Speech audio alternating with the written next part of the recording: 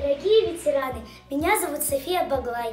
Я солистка ансамбля песни и танца «Полянка». Я сердечно поздравляю всех вас с наступающим праздником Днем Победы!